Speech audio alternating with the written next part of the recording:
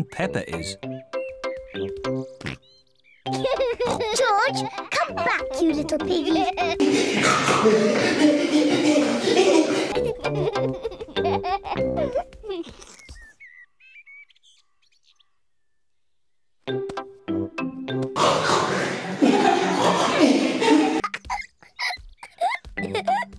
Maybe Peppa is teasing George just a bit too much.